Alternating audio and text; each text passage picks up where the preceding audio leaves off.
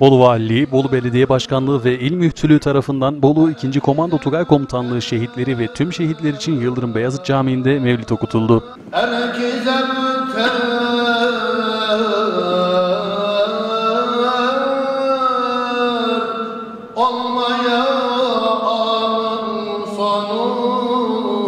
Programa Vali Yardımcısı Mustafa Özsoy, Bolu Belediye Başkanı Alaaddin Yılmaz, Bolu 2. Komando Tugay Komutan Vekili Piyade Albay Hüseyin Aziz Çetinkaya ve vatandaşlar katıldı. Allah'a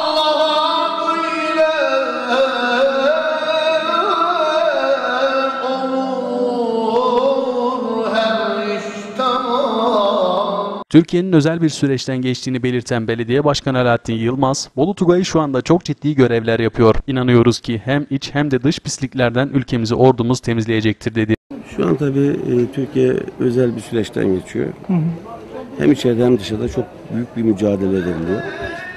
E, ve Bolu Tugay'ı e, şu an çok ciddi görevler ifade ediyor. Zaten Bolu Komando Tugayı ile de Bolu bütünleşmiş durumda. E, ve inanıyoruz ki hem iç hem dış pisliklerden ordumuz Türkiye'yi temizleyecek diye müthiş bir güvenimiz var. Evet, geçtiğimiz süreç içerisinde 15 Temmuz'da kendisini de pislikten kurtaracak çalışmaları yapıyor şu anda. Çünkü o dönemde işte bildiğiniz gibi virüs gibi her tarafımıza sinmiş bir e, pislik cerahattan kurtulmaya çalışıyoruz. Bütün kurumlar kurtulmaya çalışıyor. Ama as- ordumuz asli görevini şu anda yapıyor.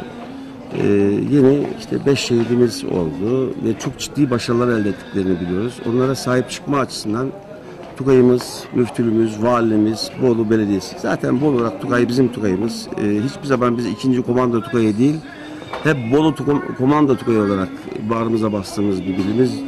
Gerçekten çok güvendiğimiz bir birliğimiz. Allah onun yolunu açık etsin.